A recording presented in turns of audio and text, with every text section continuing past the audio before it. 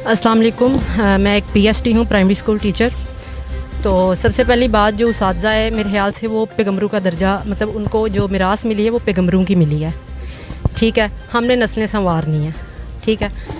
जब हम छोटे थे, मैं खुद जब छोटी थी, हमें शौक़ था कि हम उठें, हम उस्ताद बने, हम अपने बच्चों को अपने मुस्तबिल को संवारें, हम अपने बच्चों को सही और गलत में फ़र्क बताएँ, हम इस माशरे को बदलें।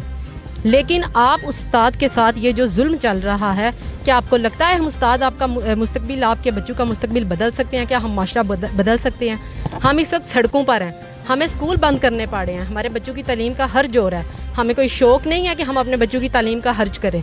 एक उस्ताद इस वक्त आप यकीन करें एक उस्ताद इस वक्त स्कूल के अंदर इलेक्ट्रीशियन भी है। हम जो फ़ीमेल उस हैं।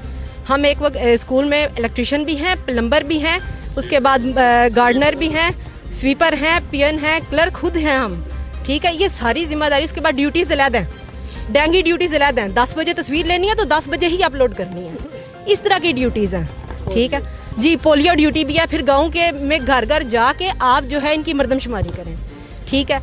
और सबसे बड़ी बात कि हमें बोला जाता है आप अप्रैल में जाके स्कूल में दाखिले करें। उससे पहले प्राइमरी स्कूल जो है वो प्राइवेट स्कूल्स कर चुके होते हैं, जिसकी वजह से हम पे और प्रेशर आता है। हर टीचर जो है वो इस महीने के अंदर चार से, बल्कि एक दिन में चार से पाँच बच्चे लेके आए। हम किधर से लेके आए? ठीक है, गाँव छोटे हैं। आप कैसे ये ये कैसे पॉसिबिलिटी क्या? आप कोई भी उठाए, हम अगर एक स्कूल में चार टीचर है तो एक टीचर एक एक बच्चा भी नहीं ला सकता। गाँव में किस तरह से वो छोटे गाँव में बच्चे पैदा किए जाएँ? हमें सड़कों पे आप लाकर खड़ा कर दिया हुआ है। ठीक है और एक ये जो आजकल ये टीएनए टेस्ट आ गया है। मतलब आप क्या समझते हैं उस्ताद के साथ आप उस्तादी कर रहे हैं? आप हमें बेवकूफ़ बना रहे हैं। आप सही सवालों को उधर गलत हैं। इतने सिंपल सवाल हैं और उनको जो आ, उनके पास जवाब हैं सिस्टम में जवाब वो गलत हैं। हमारे पास आए हैं ठीक है और फिर उसके बाद इसको हमने शेयर करने का ऑप्शन ही नहीं है। हम अपने गलत और दुरुस्त जो जवाब हैं उनको ही नहीं देख सकते। ठीक है और फिर हुकूमत हमारे लिए ये चला रही है न्यूज़ कि जी, आपका उस फेल हो गए हैं। मतलब आप हमें जो उस्ताद हैं, उनके भी उस की तोहन कर रहे हैं। उन्होंने हम जैसों को पढ़ा लिखा लिखा के इस जगह पहुँचाया है। और जब हम अपॉइंट हुए थे, हमारे ऑर्डर में ये चीज़ नहीं थी। ऐसी ऐसी चीज़ें आ रही हैं सुनने को। अभी जो है वो बहुत से पॉइंट में मिस कर गई हूँ।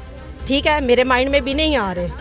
ठीक है, हमें कहीं पे भी ना भेजें, कोई बैरून मुल्क ना भेजें। हमें पाकिस्तान में इज़्ज़त से सुकून से बच्चों को पढ़ाने दें। अगर एक उस्ताद मेंटली तौर पर ठीक होगा तो ही वो बच्चों को सही तरीके से गाइड कर सकता है, पढ़ा सकता है। हम मेंटली तौर पे क्या है? अभी स्कूल प्राइवेट हो जाएगा, अभी ये मैसेज या कॉल आ जाएगी, आप स्कूल से निकलें। फिर आपको दूर दराज फेंक दिया जाएगा। अगर ट्रांसफ़र करवाना है तो ट्रांसफ़र के अलग मसले।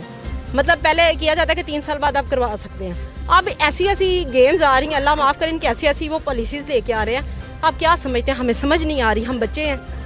बस हमारी जो है बहसीत कौम हमारी एक मसला है हमारे साथ। हमें यूनिटी नहीं है।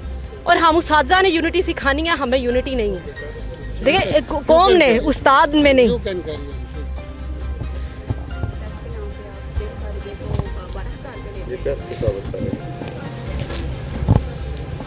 ठीक है ठीक है। करें करें यू कैन कैरी चलो